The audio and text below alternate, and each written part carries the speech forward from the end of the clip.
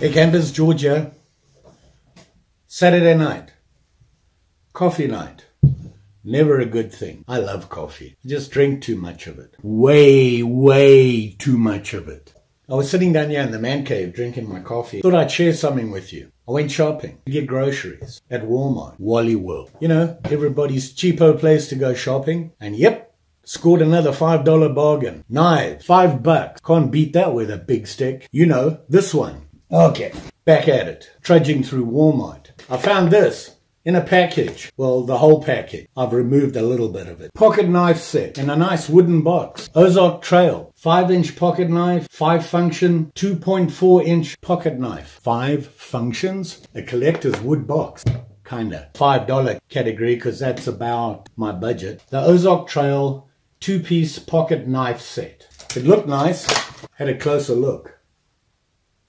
And what it is, pocket knife, I suppose you'd call it a keychain knife. One of those things you can hang on your keychain. And it's a multitasker. Yeah, we're back at multitasking stuff again. Jack of all trades, master of none. Five bucks. So pulled out the wallet, dusted it off and pulled out five bucks. Off I trudged back home. Got to thinking about it. Five bucks? How can they make something like this for five bucks? I Take a closer look. Thought I'd bring you along with me. And what it is, is this guy pocket knife, a keychain knife, this guy, which is a little pouch that goes on your belt. This is the best part of the whole deal. It's pretty cool. Small, compact, fits on your belt. Hmm, five bucks. Five bucks.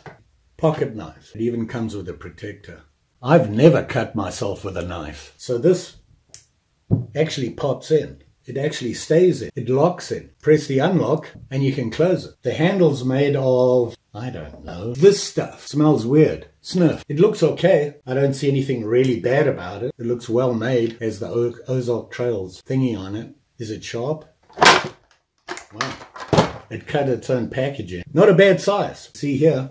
It's not bad. Still don't know what this stuff is. Let's look at the keychain guy. Got the same stuff on it. Has a little loopy here that you can put on your keychain. What does it have in it? Knife, not locking. Nail file. I think that's meant to be a screwdriver or something to clean your nails. On the other side, scissors, Snip, snip, and Bob's your auntie. It's not bad. Small, compact, not too heavy. Oh, it's a little heavy. I think I'll be a little bit worried about my keychain. But if you don't have a lot of keys on it, it can be too bad. Handy thing to have around you. Hey, it could be handy to have with you. The pouch. Ballistic stuff, I think. This doesn't go in there. This is for your keychain. This goes in here. Look at that. Snap. Snaps on. Not too tight, but it works. The Ozark Trails logo. Place to put a belt. Not bad. It's no longer a pocket knife. It's a sheath knife. Just saying. The reason I really bought it though, and that is our box. It's a wood, wow, not really. If you look inside, it's that kind of mushed up compressed stuff and it's just got wood veneer on it. But it looks cool. The lid is a little off center. Thought was there. Ozark Trails outdoor equipment and includes an, a collector's wood box and sheath packaging out the door. I'll probably keep them. Five bucks. Five bucks. That's not bad. But then I looked close. Ooh, metal, stainless steel. First I thought it was rust. See it there. See those dark patches? I don't know what it is. Do I care? Five bucks. I'll take it. The real pocket knife seems to be okay. It doesn't have that stuff on it looks smooth, and it's not bad. And it's not bad. Warning, cancer and reproductive harm. Wow. Caution, cut hazard. It's a knife. It's got scissors. Of course it's a cut hazard. Wow. I can't read the rest. I need new glasses. Wow. Wow. Where is it made? I don't know. Ozark Trail is a trademark of Walmart. Huh. How about that? Wow. Oh, here we go. Made in China. Wow. Huh. Five bucks. Still a bargain. Here's my advice. Get yourself a buck. A buck. This buck. I've had this guy for years, kind of old.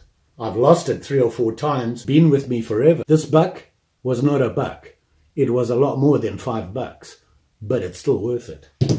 This, five bucks. Huh, was it worth it? Probably. I'll get my five bucks out of this. Five bucks. Not gonna hurt. Caution, cut hazard.